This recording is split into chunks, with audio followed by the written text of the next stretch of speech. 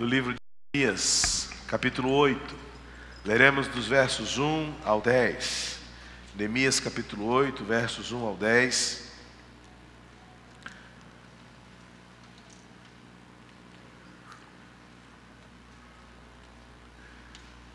Este é um momento épico da história do povo de Deus.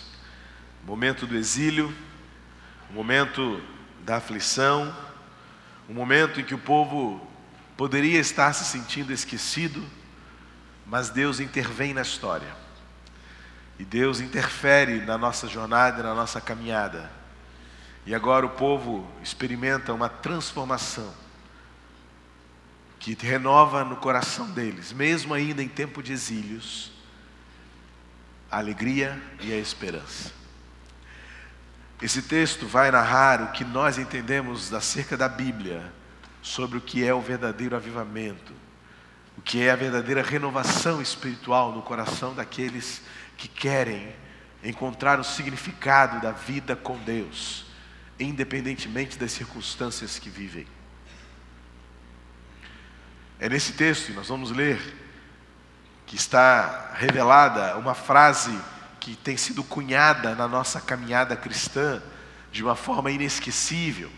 Aquela emblemática frase que diz: A alegria do Senhor é a vossa força.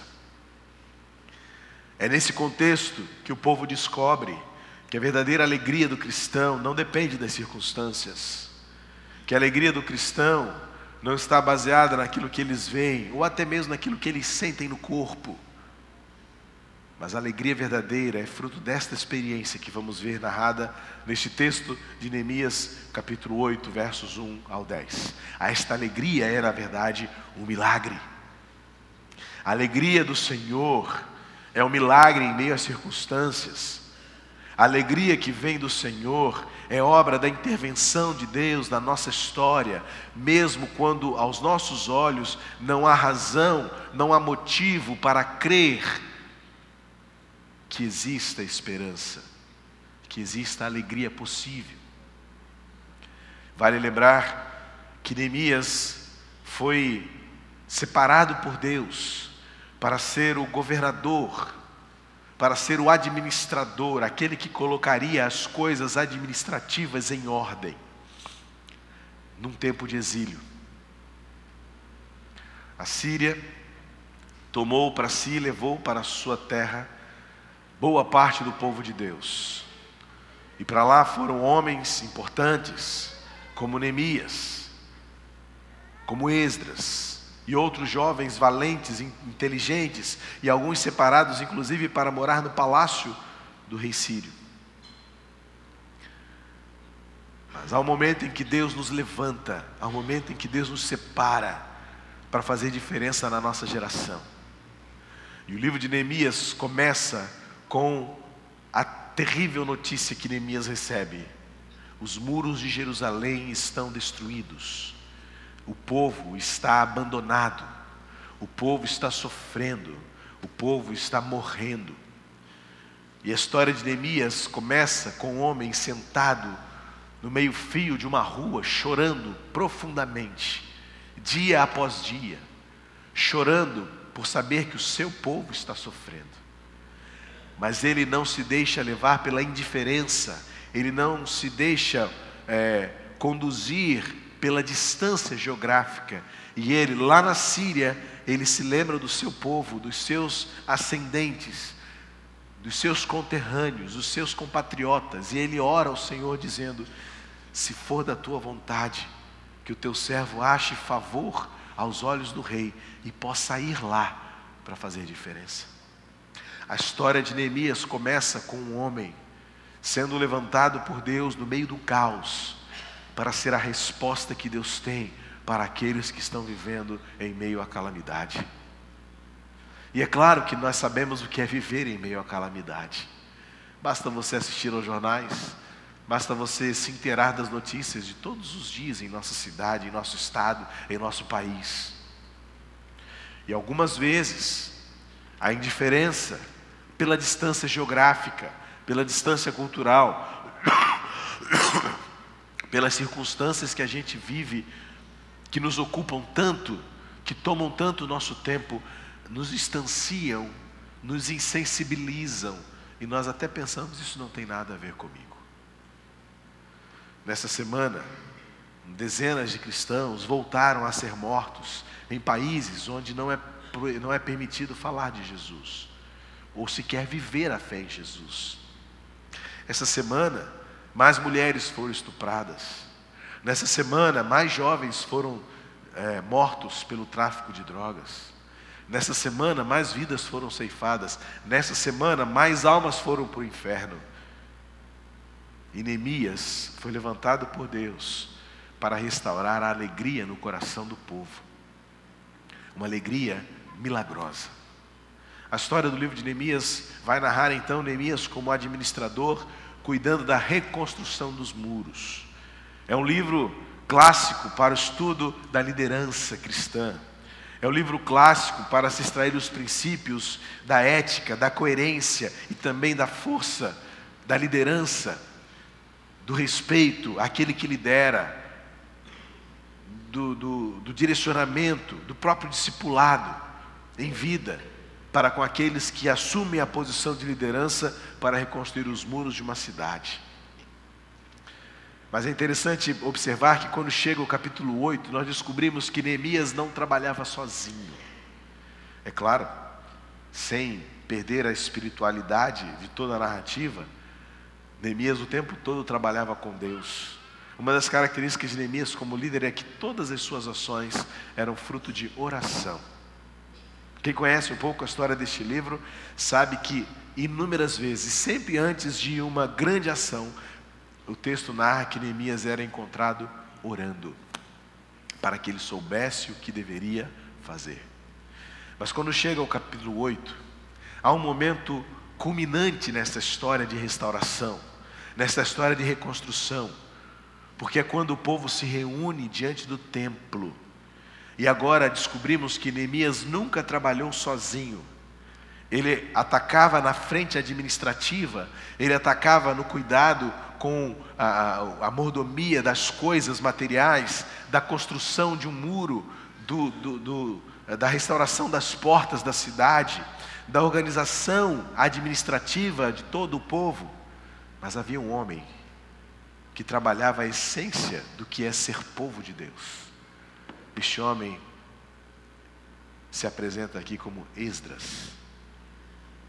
E não é possível entender o que acontece no livro de Neemias sem que se estude também o livro de Esdras. E já que você está com a sua Bíblia aberta em Neemias capítulo 8, eu quero que antes de nós lermos aqui, você leia Neemias, no livro de Esdras capítulo 7, versículo 10 porque é onde efetivamente este momento começa a ser planejado, onde esta alegria que vem do Senhor começa a ser construída, a ser semeada no coração de um povo.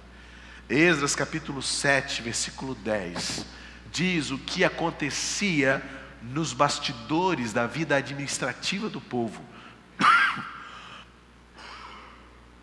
Acontece que enquanto Neemias, como um governador, colocava em ordem as coisas que se referiam à administração do povo, havia um homem chamado Esdras, Esdras que colocava o seu coração disposto a fazer mais, mesmo que por enquanto ninguém visse coisa alguma.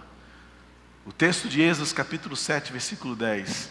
E Esdras propôs em seu coração buscar e conhecer e ensinar em Israel toda a palavra de Deus, os seus preceitos e os seus estatutos. Veja bem, meus irmãos, nenhuma reforma, nenhuma mudança acontece se algo não começa a acontecer no seu coração. Nós ficamos esperando grandes movimentos, multidões de pessoas, fazendo acontecer e para que as coisas de fato aconteçam.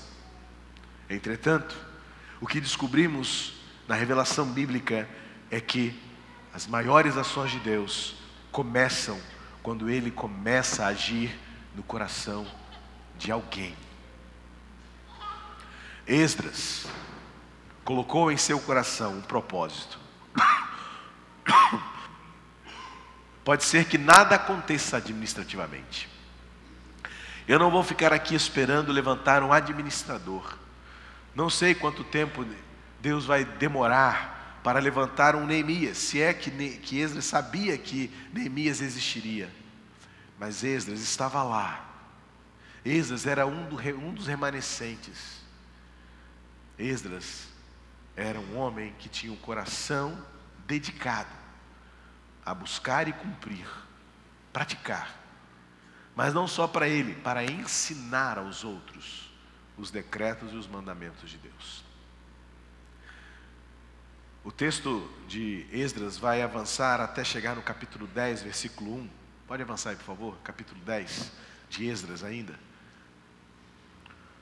E Esdras começou a, pela sua prática e pelo seu ensino, começou a mover pessoas à sua volta para entender a vontade de Deus para o povo.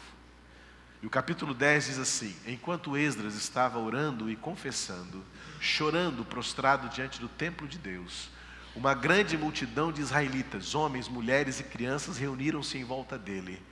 Eles também choravam amargamente. Eu quero que você preste atenção aqui no fato de que as linhas históricas dos livros agora se cruzam e convergem. Porque quando Esdras capítulo 10, versículo 1 narra que Esdras estava orando e confessando os seus pecados e os pecados do seu povo e chorando prostrado diante de Deus, ele se vê num ajuntamento. E o que acontece? As pessoas agora se reúnem e se unem a ele.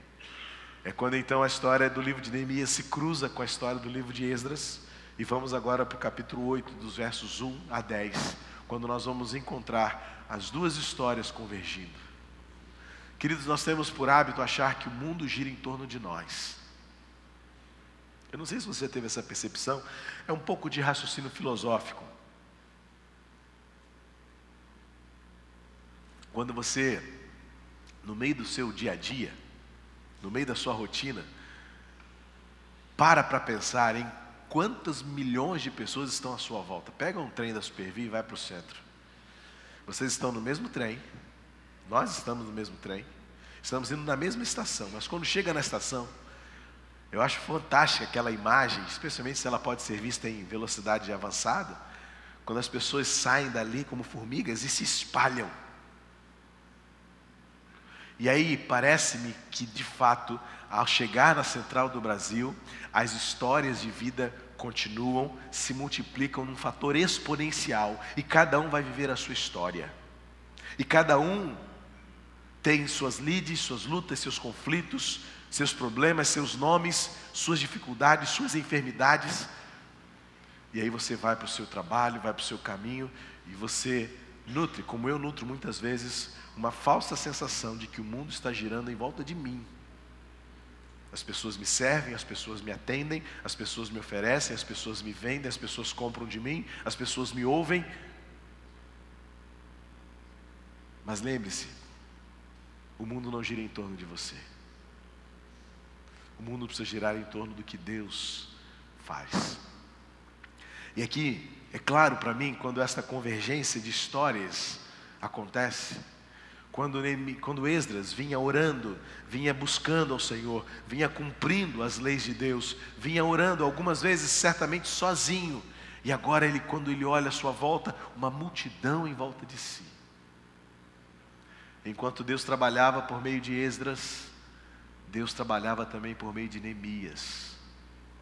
E agora o povo estava recuperando sua autoestima, porque a administração ia bem, os muros estavam erguidos, a sociedade estava se reorganizando. O capítulo 7 mostra como os grupos em famílias estavam sendo refeitos, aquele povo estava sendo reconstruído. E agora no capítulo 8, versículo 1 diz assim: Quando chegou o sétimo mês e os israelitas tinham se instalado em suas cidades, Todo o povo juntou-se como se fosse um só homem na praça, em frente da porta das águas. Pediram ao escriba Esdras que trouxesse o livro da lei de Moisés, que o Senhor dera a Israel. Não estamos lendo o livro de Esdras, é Esdras aparecendo no livro de Neemias. Assim, no primeiro dia do sétimo mês, o sacerdote Esdras trouxe a lei diante da assembleia, que era constituída de homens e mulheres e de todos os que podiam entender. Ele a leu em alta voz, desde o raiar da manhã até o meio-dia, de frente para a, para a praça, em frente da porta das águas, na presença dos homens, mulheres e de outros que podiam entender. E todo o povo ouvia com atenção a leitura do livro da lei. O escriba Esdras estava numa plataforma elevada de madeira construída para a ocasião. Ao seu lado à direita estavam Matitias, Sema, Anaías, Urias, Ilquias e Maazéias. E à esquerda estavam Pedaías, Misael, Malquias, Azum, Rasbadana, Zacarias e Mesulão. Esdras abriu o livro, na verdade ele desenrolou o pergaminho, diante de todo o povo, e este podia vê-lo, pois ele estava num lugar mais alto. E quando abriu o livro, o povo todo se levantou. Esdras louvou o Senhor, o grande Deus, o todo, e todo o povo ergueu as, as mãos e respondeu: Amém, Amém. Então eles adoraram o Senhor, prostrados, rosto em terra. Os levitas, Jejua, Bani, Serebias, Jamim, Acude, Acube, Sabetai, Rodias, Maazéias, Quelita, Azarias, Josadab, Josabade, Hanã e Pelaías, instruíam o povo na lei e todos permaneciam ali. Leram o livro da lei de Deus, interpretando-o e explicando-o a fim de que o povo entendesse o que estava sendo lido. Então Neemias, o governador, Esdras, o sacerdote e escriba, e os levitas que estavam instruindo o povo disseram a todos: Este dia é consagrado ao Senhor, o nosso Deus. Nada de tristeza e de choro, pois todos Todo o povo estava chorando enquanto ouvia as palavras da lei. E Neemias acrescentou: Podem sair e comam e bebam do melhor que tiverem, e repartam com os que nada têm preparado.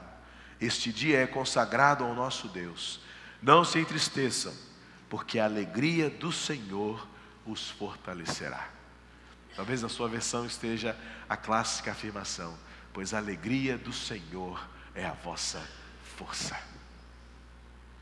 Queridos, para que chegasse este momento da alegria do Senhor renovar as forças daquele povo, foi necessário um longo tempo de espera. Os arqueólogos bíblicos propõem que o tempo que levou entre aquele momento em que Esdras propôs em seu coração buscar e cumprir a lei do Senhor e ensinar em Israel todos os seus mandamentos, até este momento, no capítulo 10 de Esdras, quando ele é surpreendido por uma multidão enquanto orava e confessava e chorava. 14 anos. 14 anos para que Esdras pudesse ver o milagre das suas orações respondidas. Mas precioso demais perceber que Esdras não esperava por um milagre em termos de prosperidade. Esdras não aguardava o milagre dos muros reconstruídos da noite para o dia. Para que os muros fossem reconstruídos, foi necessário força, trabalho, suor, luta. Neemias, como governador, teve que enfrentar opositores, os clássicos adversários da obra de Deus, Sambalat e Tobias, tão representados hoje por tantos que ainda é, se opõem à obra de Deus, que buscam atrapalhar o desenvolvimento da obra de Deus. Mas Neemias não esmoreceu.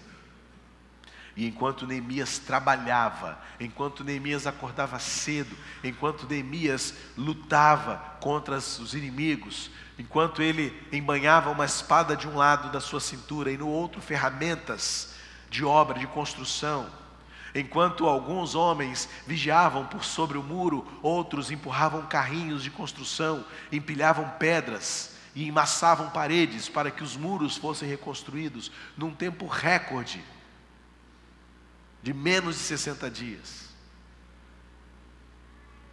Havia um homem que de joelhos orava para que aquele povo soubesse que a verdadeira prosperidade não está nos muros reconstruídos, não está na dispensa abastada, mas está na alegria no coração que fortalece, alegria no coração que renova a esperança. Amados, esta descrição do livro de Neemias, capítulo 8, traz-nos o planejamento de Deus para que o verdadeiro avivamento aconteça. E eu tenho que admitir que a gente não tem visto quase nada disso nos dias atuais. Primeiro, porque esses dois homens, Esdras e Neemias, trabalhavam em conjunto, sem esquecerem-se de suas responsabilidades. Neemias, como governador, tinha que ser eficaz e eficiente no seu trabalho como administrador. O povo de Deus precisava entender que a obra de Deus, o povo de Deus, precisa também daquilo que é administrativo, daquilo que é justo, daquilo que é econômico, daquilo que é de mordomia. E Neemias tinha que fazer bem o seu papel, liderando o povo, dividindo bem as tarefas, respeitando e sendo respeitado como líder.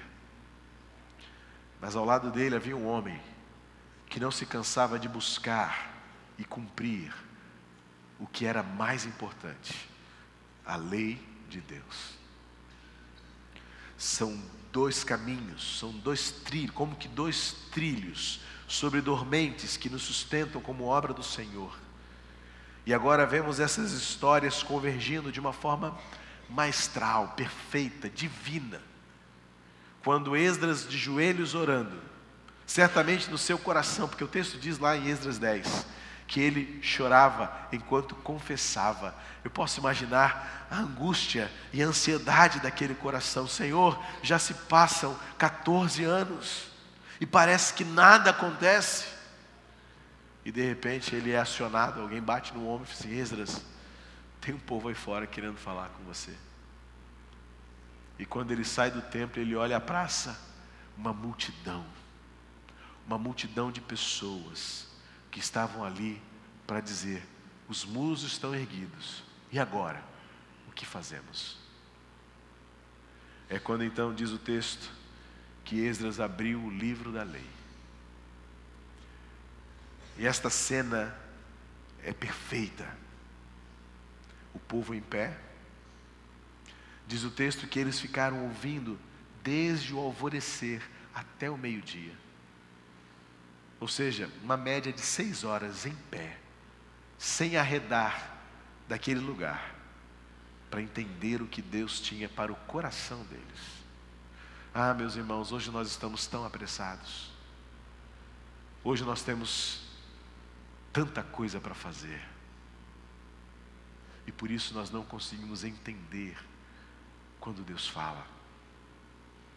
Por isso, quantas bobagens estão sendo ouvidas e ditas, quantas pessoas, quantos homens, mulheres, jovens, adolescentes e nossas crianças estão vivendo, crescendo, passando a vida sem entenderem o que significa abrir os preceitos de Deus e vivê-lo em nossos dias. É maravilhoso ver como o povo se quebrantou diante do que a lei dizia. A gente vive um tempo da graça que fez a lei perder a graça. Mas é maravilhoso recuperar no texto bíblico, em toda a revelação bíblica, que o que a igreja teve no seu início para ensinar, para demonstrar, para divertir, era nada mais do que apenas a lei de Deus. Os preceitos de Deus. E qual era o principal credo dessas pessoas? Deus é único.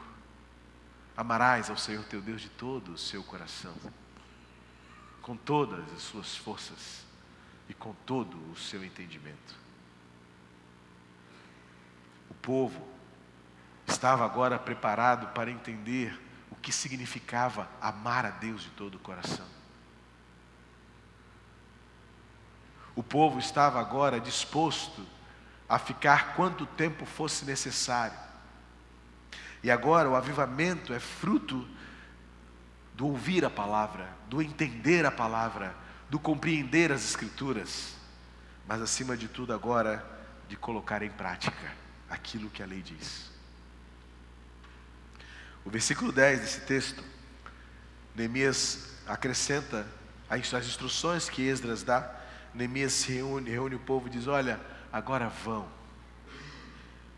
Vão e comam e bebam do melhor que tiverem.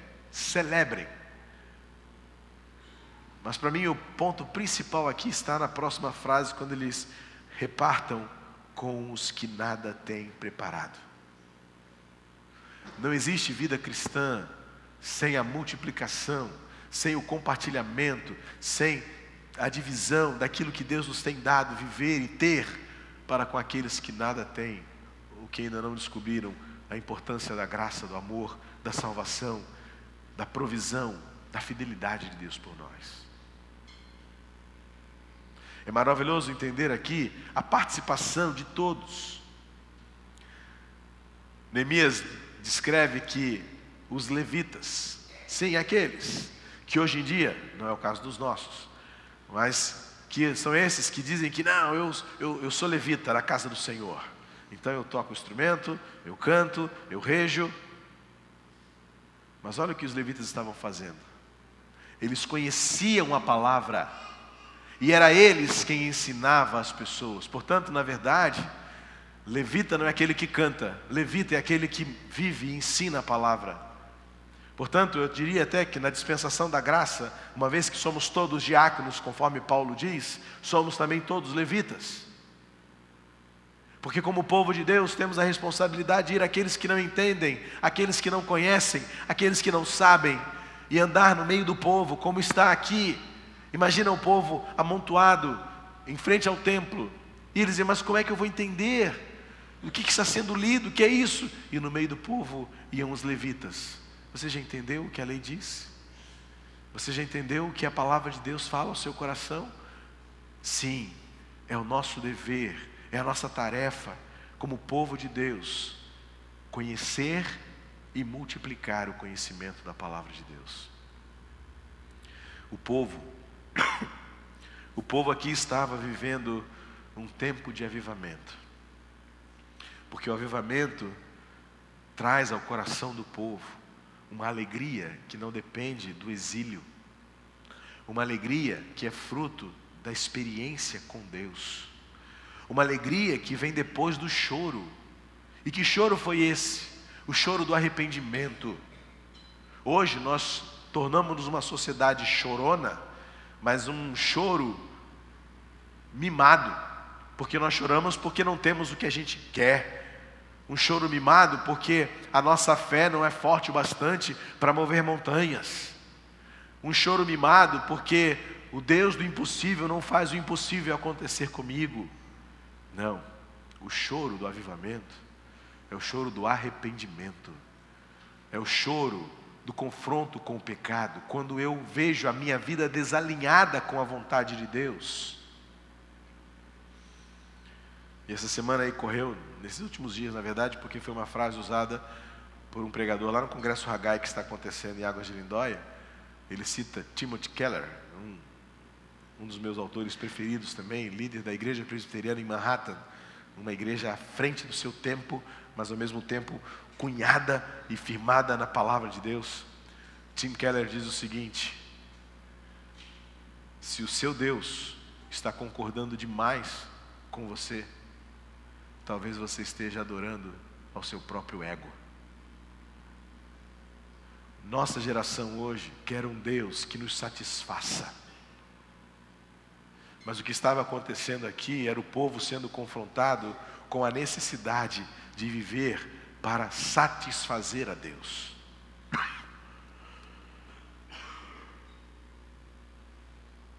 O choro do povo, as lágrimas do povo, a tristeza do povo, era porque eles se deram conta de que mais importante do que os muros destruídos era perceber que seus corações estavam abandonados, destruídos.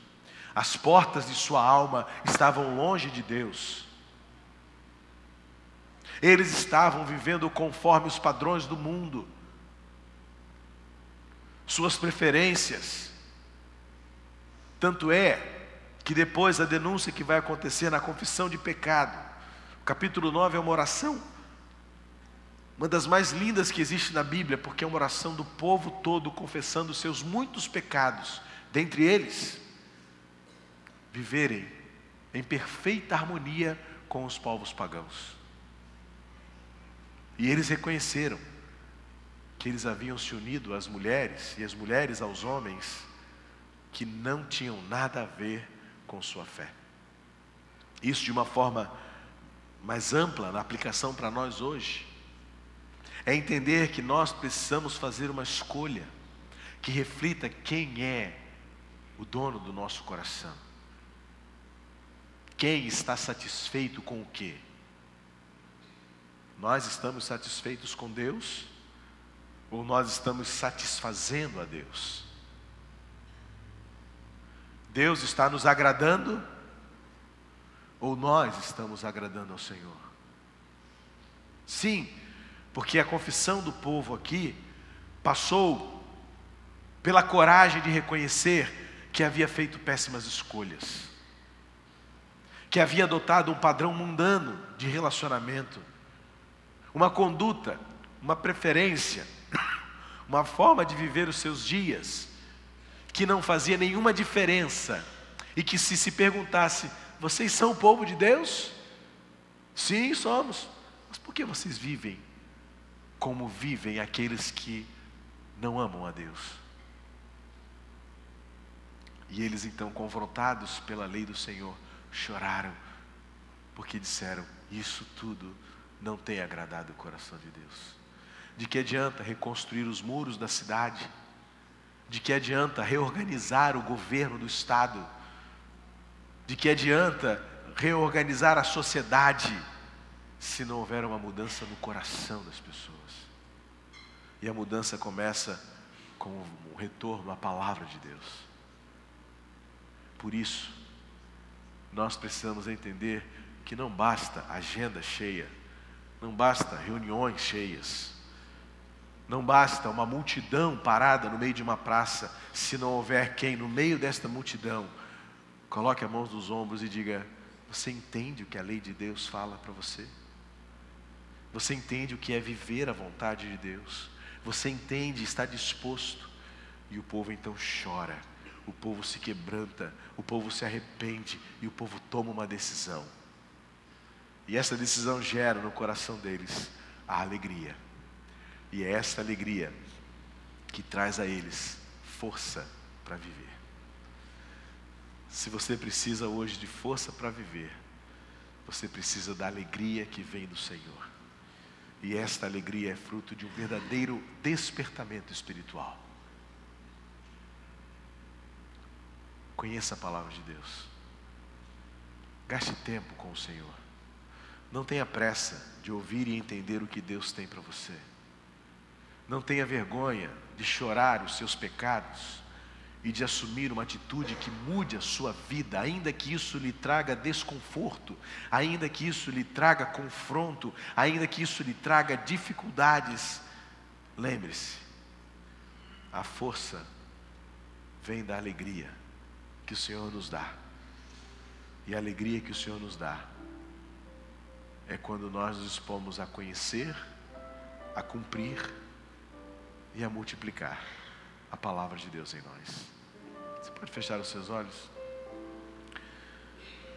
Talvez você esteja investindo só em reconstrução de muros. Talvez você seja um exímio governador como Neemias.